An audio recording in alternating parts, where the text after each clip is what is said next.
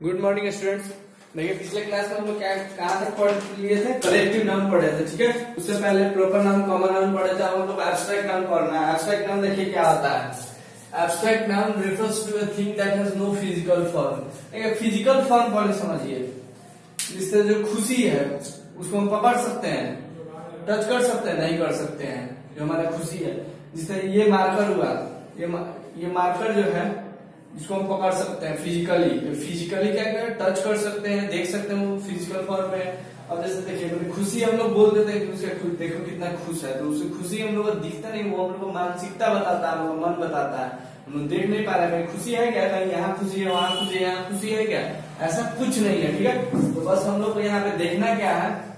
ये देखिए this means we can not see और टच इट फ़िज़िकल फॉर्म नहीं होने का मतलब क्या? नहीं उसको हम लोग देख सकते हैं, नहीं टच कर सकते। हैं अब ये मत कर दिए जिससे लोग बोलता है कितना खुश है, इसका मतलब खुशी हमको दिख गया, ऐसा कुछ नहीं है। वो हम लोग अपने दिमाग हम लोग अपने दिमाग का इस्तेमाल करके क्या?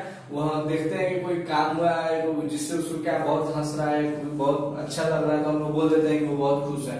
लेकिन ये है ग्रामर के अनुसार इसी तरह चलना होगा, ठीक है? इसलिए देखिए इट डिनोट्स एन आइडिया कोई आइडिया हो, जैसे कोई आइडिया जैसे एजुकेशन के पढ़ाई से कोई रिलेटेड कोई दिमाग में कोई बात आ रही हो डिसिप्लिन अनुशासन से रिलेटेड क्वालिटी है कोई क्वालिटी कोई अपने गुण हो, जिस तरह एबिलिटी मतलब कोई चीज़ की क्षमता हो, जिस तरह कोई प्रोजेक्ट बना रहा है तो प्रोजेक्ट बहुत अच्छा बनाता है तो आपको क्षमता होगा।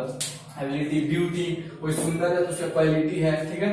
और स्टेट स्टेट मतलब अवस्था जो मतलब स्थिति है उसका बिलीफ और होप बिलीफ मतलब किसी पे विश्वास करने का होप मतलब आशा करने का किसी के पास, ठीक है? तो abstract noun and derive particularly from nouns and verbs and adjectives abstract noun बनता मेनली खास करके कहाँ से है? तो नाउन से बनता है वर्ब से बनता है और एडजेक्टिव से बनता है, जैसे कुछ एग्जांपल हम दिए हुए हैं।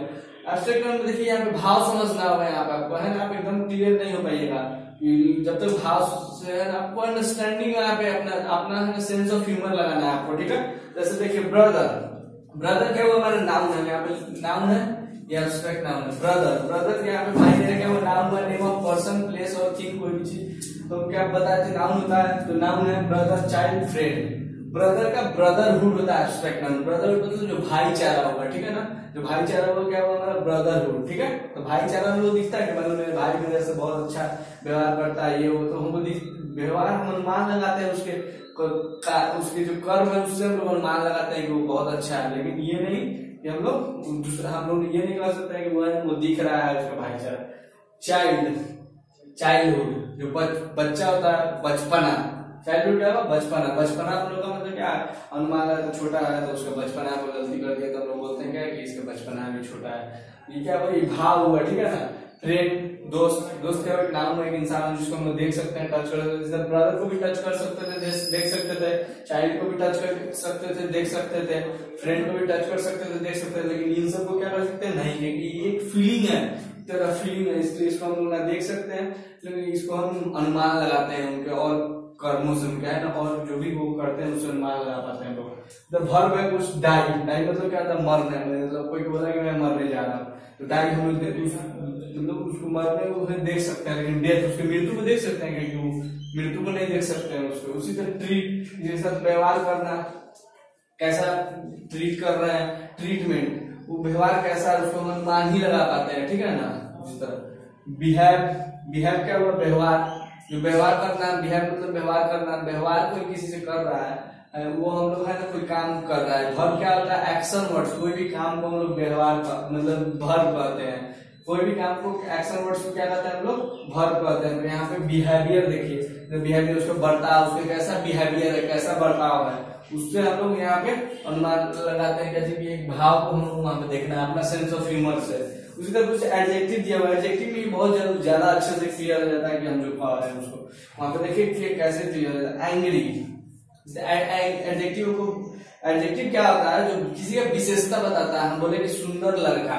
तो सुंदर क्या हुआ? वहाँ पे एडजेक्टिव हुआ, ठीक है? हैंडसम बॉय बोले। हैंडसम क्या हुआ? एडजेक्टिव हुआ, ठीक है? तो देखिए इसी तरह हंगरी और हैप्पी ये सब क्या है? एडजेक्टिव है। Hungry man happy boy happy girl इसे कह सकते हैं, ठीक है मतलब ही सी इज़ हैप्पी गर्ल ठीक है इस तरह कह सकते हैं। तो देखिए एंग्री का एब्स्ट्रैक्ट नाम क्या होता है? एंगर होता है। हम लोग बोल सकते हैं he is anger man anger man नहीं एंग्री मैन बोल सकते हैं, वो एडजेक्टिव है। लेकिन बोलते हैं ही इज़ इन एंगर वो क्या है? गुस्से में है, गुस्से में है। तो एंगर एब्स्ट्रैक्ट नाम यहाँ पे भाव दर्शाना वहाँ पे क्या होगा? एंगर एब्स्ट्रैक्ट नाम का इस्तेमाल करेंगे। उसी तरह यहाँ पे हमरी के क्या है? हंगर मानिए वो भूखा इंसान है भूखा इंसान है, पता चल रहा है, बोले, क्या देखिए भूख ही हंगरी हंगरी बोले he is a hungry man he is a hunger man नहीं बोलेंगे। वो क्या ही इज़ इन हंगर वो भूख में है, ठीक है? यहाँ उसी तरह हैप्पी क्या दे रहा है हैप्पीनेस हो जाएगा जो खुशी होता है, ठीक है? हैप्पीनेस खुशीनेस खुशी क्या है उसका?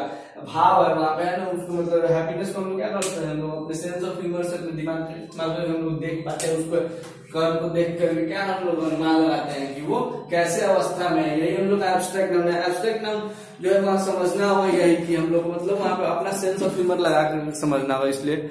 आप लोग अच्छे से इसको समझिएगा। Thank you and have a nice day